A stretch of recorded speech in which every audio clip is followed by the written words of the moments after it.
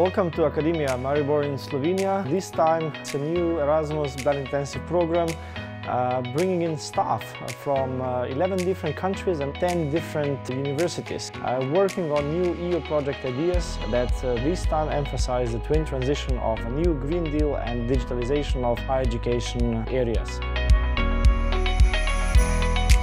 When uh, I arrived here, my expectations were to learn how my colleagues uh, collaborate internationally and what are the, the, hurdles and how they have overcome them.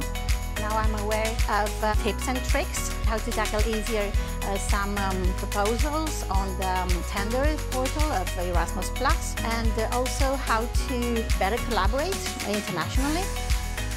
I think this uh, kind of opportunities uh, has an important uh, role in uh, cultural dissemination and improving uh, Uh, knowledge base, uh, experience, learning, uh, communication process of uh, participants.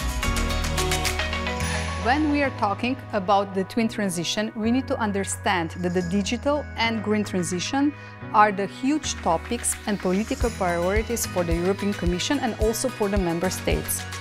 Rather than treating digital and sustainability in isolation, a twin transition strategy combines these critical functions to unlock huge benefits in terms of efficiency and productivity. I consider it as a very attractive program, very dynamic program uh, as well. Uh, besides that, there are lots of interesting activities. We had the opportunity to visit a regional development agency V okviru inicijativ, ki jih izvajamo na področju Twin Transition, želim predstaviti tri. Prva je status regije Podravja kot eh, pilotne regije v okviru Evropske inicijative krožnih mest in regij.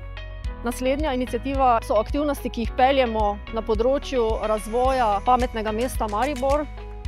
Kot primer operativnega projekta pa izpostavljam projekt Mission C Climate, v okviru katerega se posvečamo prilagajanju na podnebne spremembe.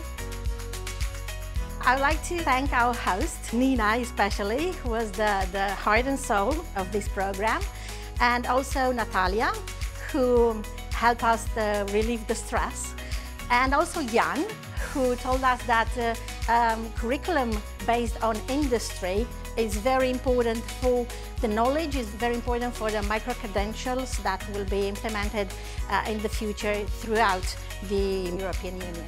Thank you so much.